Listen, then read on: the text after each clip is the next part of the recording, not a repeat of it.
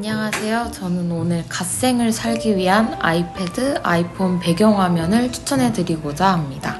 이건 먼저 저의 아이패드 배경화면인데요. 저는 기본적으로 제가 많이 쓰고 있는 앱들과 경각심을 부각시켜 줄 수 있는 위젯들 위주로 배경화면을 채우고 있습니다. 그럼 같이 배경화면을 만들어가면서 설명해 보도록 하겠습니다. 배경화면을 꾹 누르면 홈 화면 수정이 되는데 좌측 상단 플러스 버튼을 누르면 추가할 수 있는 위젯 리스트가 보이게 됩니다. 저는 공부 시간 관리 및 플래너를 모두 열품타라는 앱을 사용해주고 있습니다. 그래서 저의 공부 시간 측정 그리고 계획을 실천하기 위해서 배경화면 위젯으로 열품타를 추가해 놓고 있습니다.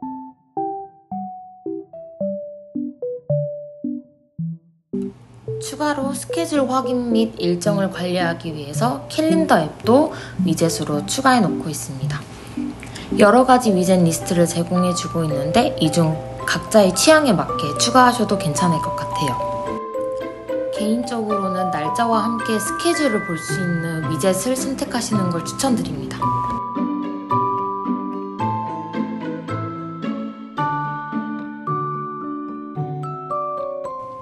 추가로 열품타에 등록한 시험 일정과 같은 디데이를 위젯으로 추가해서 나의 시험 일정이 얼마나 남았는지를 한눈에 볼 수 있게 위젯을 추가해 보았습니다. 열품타에는 디데이를 여러 개를 설정할 수 있어요. 그래서 본인이 원하는 디데이를 위젯으로 표현하고 싶을 때는 위젯을 길게 눌러서 위젯 편집을 누른 뒤 본인이 원하는 디데이를 선택해서 위젯으로 표현할 수 있습니다. 무언가 공부하시는 분은 이 열품타를 꼭 쓰시길 추천드리고 싶은데 이렇게 공부 시작을 하고 나서는 다른 장애가 될 만한 방해가 될 만한 앱들에는 제한이 걸려요. 그래서 그런 앱들은 쓸 수 없어서 자연스럽게 공부에 집중하게 되기도 하고 내가 얼마나 집중을 했는지도 카운트가 되기 때문에 저의 공부량 통계를 잡기도 되게 좋아요. 그리고 그룹으로 친구들이랑 그룹을 잡을 수도 있거든요. 그래서 현재 제 친구가 공부를 하고 있구나를 이렇게 볼 수 있고 아 얘는 월에 이 정도 매일 공부를 하고 있네 등의 그런 친구의 공부 현황도 같이 공유가 되는 게 같이 공부하는 느낌이고 좋습니다. 그리고 표시되는 아이콘도 아 얘가 공부를 얼마나 했느냐에 따라서 보이는 모습이 다르거든요. 이렇게 저 교과라시는 분은 본인이 저 아이콘을 구매하셔서 쓰신 건데 내가 공부한 양만큼 아이콘도 귀엽게 나와서 공부하게 되는 동기부여가 되는 것 같아요. 그리고 저는 이렇게 플래너도 쓰고 있다고 했잖아요. 그래서 매일매일 내가 공부를 얼마나 했고 어떤 시간에 공부를 했는지를 한눈에 볼 수 있어서 저의 공부량 체크에 되게 큰 도움이 됩니다.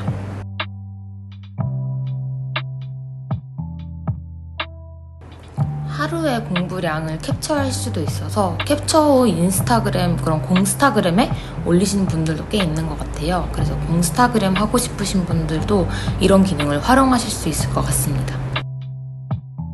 하루 마무리 기록 기능이 있어서 하루의 공부를 다 끝낸 후에 아 내가 얼마나 이 오늘 하루를 잘 썼는지를 기록하고 만족도를 표시할 수 있어서 쌓아놓고 보면 아 내가 이렇게 열심히 했구나를 느낄 수 있는 것 같습니다. 가장 많이 쓰고 있는 기능이기도 한데 이 디데이 설정 기능을 통해서 시험 날이 얼마나 남았는지 혹은 내가 체크해야 되는 일정이 얼마나 남았는지를 바로 보면서 플래너도 짜고 공부도 할 수 있어서 시간을 좀 더 효율적으로 쓸 수 있는 것 같습니다. 그리고 통계 기능을 통해서도 내가 공부를 어느 정도로 하고 있는지도 확인할 수 있습니다. 네이티브 앱은 아니고 메모 위젯이라는 앱을 추천드리고 싶습니다. 이거는 진짜 메모 앱이긴 한데 저는 마음 깊이 새기고 있는 명언이나 저의 좌우명 같은 것들을 메모로 등록해 놓고 뒤에 사진 배경을 예쁘게 설정해서 위젯으로 넣어 놓고 있습니다. 이 앱은 앱스토어에서 무료로 다운받으실 수 있습니다. 사용하는 것도 무료여서 되게 좋아요. 플러스 버튼을 본인이 기록하고 싶은 내용을 제목 혹은 본문에 적어줍니다.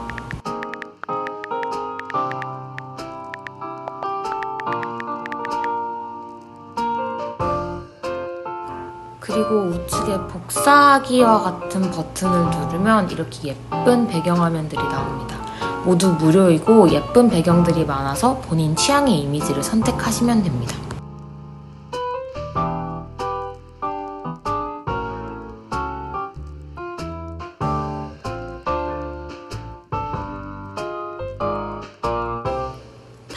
무료 앱이라서 광고를 좀 봐야 되긴 하는데 한편만 좀 참으면 됩니다. 배경화면에 저의 좌우명이 나오는 거라서 약간 하루하루 저의 좌우명을 되새기는 기분이라서 좋더라고요. 여러 개를 등록해 놓은 경우 위젯 편집으로 원하는 메모를 선택하실 수도 있습니다. 위젯 크기도 다양해서 메모 글의 길이에 맞는 위젯 크기를 사용해주고 있습니다. 이 좌우명 같은 경우에는 길이가 길어서 저 작은 위젯으로 다 표현하기는 어렵기 때문에 옆으로 기다란 위젯을 사용해주고 있습니다. 제가 가장 많이 사용하고 있는 앱인 노션 앱입니다. 두 가지 크기의 위젯을 추가해 놓고 있는데 작은 크기의 위젯에는 바로 들어가는 페이지 예를 들면 저는 많이 외워야 되는 단어장 페이지를 바로 등록해 놨고요. 그 다음 크기의 위젯에는 저의 즐겨찾기 페이지들을 등록해 두었습니다. 저는 노션을 대학생 때부터 진짜 많이 썼는데 그냥 필기로 종이에 쓰는 것보다 노션에 쓰면 정리도 깔끔하고 그리고 오랫동안 그 정보가 보관된다는 점이 참 유용한데요. 저는 노션으로 이렇게 약간 플래너 다이어리를 쓰고 있어요. 어, 저의 뭐 사사로운 일기 감정을 쓰는 건 아니고 해야 할 일들이나 그리고 감정이 섞인 그 반반 그 어느 지점을 사용하고 있는 것 같습니다. 그래서 저의 연간 그리고 월간 플래너를 작성해 놓고 각 월마다 월이 끝나면 이번 달에 잘한 점 혹은 후회하는 점 다음 달에 좀 했으면 하는 점들을 기록해서 매 월을 시작할 때 그리고 월 중간에 약간 마음을 다시 다잡는데 큰 도움이 되는 것 같습니다. 연간 목표로 잡았던 목표가 view goal에 보여서 매달 계획을 세울 때 연간 목표를 바탕으로 계획을 세우기 좋고 그리고 remind로 설정한 리스트들을 통해서 까먹지 않고 이번 달에 해야 할 일들을 하게 만드는 것 같습니다. 그리고 주차별 목표를 설정함으로써 이번 달에 제가 이루고자 한 목표를 더 현실적으로 이룰 수 있는 그 과정을 만드는 것 같아요. 그리고 한 달이 끝났을 때 이번 달에 대한 소감을 또 적어주고 다음 달에 했으면 하는 것들을 써줌으로써 다음 달이 좀 더 알차게 꾸며질 수 있게끔 노력하게 만드는 것 같습니다. 그리고 리뷰란의 이미지를 이 달을 대표할 만한 이미지를 넣어서 나중에 각 지난 달들을 보다 보면 아, 이 달에 이런 일이 있었지를 좀 더 한눈에 파악하기 쉽게 만드는 것 같습니다. 뿐만 아니라 이 월페이지 커버로도 이 달을 대표하는 이미지를 넣어줌으로써 각 달이 지날 때마다 약간 도장 깨기 하듯이 아 지난 달들에는 이런 이런 일이 있었지를 커버로 표현해주고 있습니다. 그리고 새로운 달이 시작할 때는 해당 달에 있는 이벤트들을 기록해주고 있어요. 그래서 이번 달에는 이런 이런 이벤트들이 있어. 그에 맞춰서 어떻게 행동을 해야겠다. 이런 계획을 짜는데 도움이 됩니다. 그리고 이번 달에는 어떤 것에 포커스를 맞춰서 내가 살겠다 하는 그런 중점들을 써줌으로써 이번 달에 나의 마음가짐을 다잡는데 도움이 됩니다. 제가 세운 이 월간 목표를 이루기 위해서 각 주차별로 어떻게 어떻게 해서 이 목표를 이루겠다라고 하는 좀 더 현실적인 계획을 짜는 란인데요. 그래서 weekly plan을 통해서 내가 세운 월간 목표에 좀 더 다가간다라고 보시면 됩니다. 모든 월간 페이지에는 저의 연간 목표가 view goal로 보여지게 되는데요. 그래서 나의 연간 목표를 바탕으로 이번 달이 채워지게끔 만들어줍니다.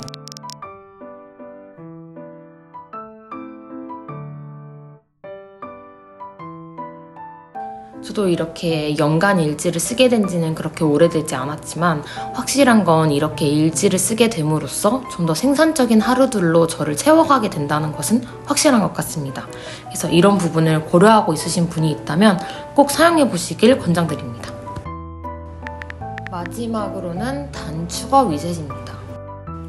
개인적으로 저는 애플 네이티브 앱과 기능들을 되게 좋아하는데 그중 단축어 기능을 매우 애용하고 있습니다. 저 같은 경우에는 자주 봐야 하는 파일을 열어주는 단축어를 설정해 놓고 있는데요. 이렇게 자주 보면서 외워야 되는 파일은 매번 파일 앱을 들어가서 파일을 여는 건 좀 번거롭잖아요. 이럴 때는 단축어 기능을 사용하면 매우 쉽게 접근할 수 있습니다.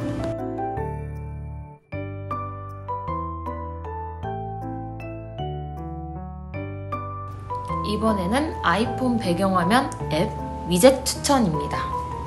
이건 실제 저의 핸드폰 배경화면인데요. 핸드폰은 아이패드와 다르게 화면이 작다 보니까 작은 화면 안에 여러 가지 위젯을 넣으려면 같은 크기의 위젯을 설정해서 겹쳐놓는 방식을 사용하시면 좋습니다. 지겨운 이 열품타 앱이 또 핸드폰에도 위젯으로 있는데요. 이 디데이를 보는 게 저는 되게 크다고 생각해서 디데이 앱은 아이폰과 아이패드 모두 설정해 놓고 있습니다. 미리 알림 위젯을 통해서 제가 루틴처럼 하는 행동들은 미리 알림으로 설정해 놓고 있습니다. 또 제가 많이 쓰는 네이티브 앱이 바로 이 미리 알림인데요. 미리 알림 기능을 사용하면 제가 해야 할 일들을 알람 기능과 함께 쓸 수 있어서 매우 좋습니다. 그래서 저 같은 경우에는 루틴처럼 해야 하는 일들 같은 경우에는 미리 알림으로 설정해 놓고 있습니다. 미리 알림에 들어가서 토픽별로 목록을 만들고 그 하위에 본인이 하기로 한 리스트들을 작성해 놓습니다. 목록은 스마트 목록으로 변경해두면 여러 가지 섹션을 잡아서 가령 갓생살기라는 토픽 안에 공부도 있고 집안일도 있고 저를 위한 무언가가 있을 수 있잖아요. 각각의 토픽 안에서의 카테고리를 섹션으로 잡고 그 하위에 카테고리에 맞는 일들을 기입해서 내가 해야 할 것들이 무엇인지를 좀 더 명시적으로 관리할 수 있습니다. 저는 네이티브 앱인 일기를 사용해서 매일 하루에 대한 회고를 작성해주고 있는데 이 일기가 생각보다 까먹는 일이 종종 생기단 말이죠. 그래서 이 경우에는 깃발 기능을 사용해서 제가 잊지 않고 하루 회고를 쓸 수 있게끔 도와주고 있습니다. 방금 정의한 미리 알림 하위에 하위 항목을 또 추가로 작성할 수 있는데요. 가령 회고 일기 쓰기라고 했을 때 일기를 쓰면서 어떤 마음가짐이면 좋겠다. 무엇을 위해서 이걸 쓴다라는 그런 것들을 하위 항목을 써줌으로써 내가 이 일을 할 때 아 이런 것들을 항상 되새겨야지 라는 걸 잡는 데 도움이 되는 것 같습니다.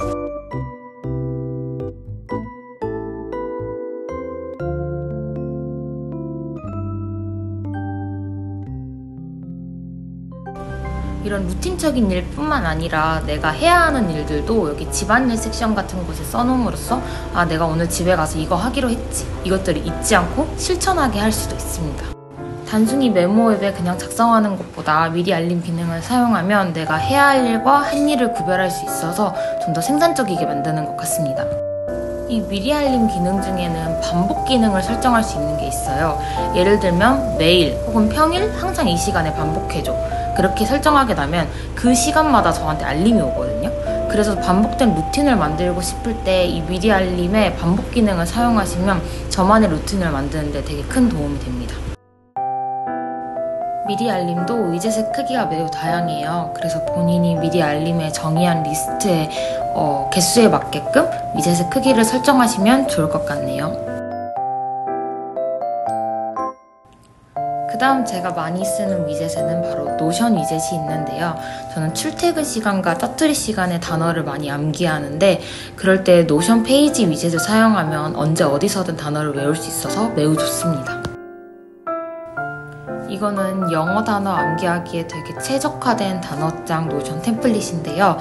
단어를 외우는 것 뿐만 아니라 다른 무언가 암기하는데 되게 유용한 템플릿인 것 같아요. 그래서 혹시 원하시는 분들은 더보기란을 참고해주세요. 폰 배경화면에도 단축어를 설정해놔서 자주 봐야 되는 파일에 대해서는 접근성을 높이고 있습니다. 핸드폰도 손으로 형광펜 기능을 사용할 수 있어서 제가 잘 모르는 부분은 형광펜으로 칠해놓고 자주 보면서 암기하고 있습니다. 그럼 이 단축어 설정을 어떻게 하는지 보여드릴게요. 단축어 앱에 들어가서 플러스 버튼을 누른 후 본인이 설정하고 싶은 단축어 이름을 정해줍니다. 본인이 원하는 색상과 이모티콘으로 정하실 수 있습니다.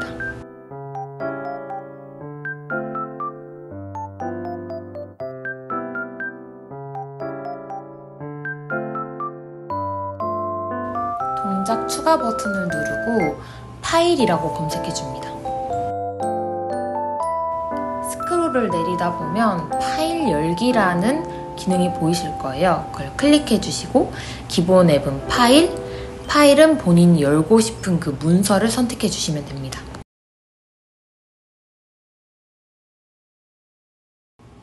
그럼 이렇게 단축어가 추가됩니다. 진짜 쉽죠?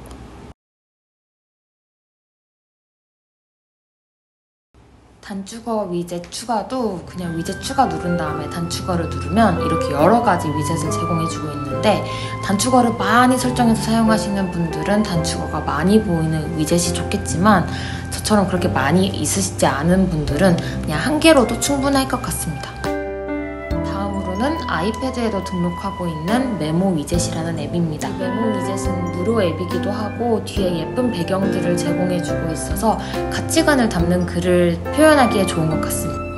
전 하루 마무리로 그냥 간단하게나마 끄적끄적 하는 걸 좋아하는데 이 일기 네이티브 앱을 쓰면 그날 있었던 이벤트들을 바탕으로 자동으로 추천을 해주기도 하고 일기 앱을 들어갈 때 얼굴 인증을 해야 되거든요. 그래서 누군가 보지 않을 거라는 그 안심감이 좋은 것 같습니다. 이건 영어 공부하는 분들에게 추천하고 싶은 앱인데요.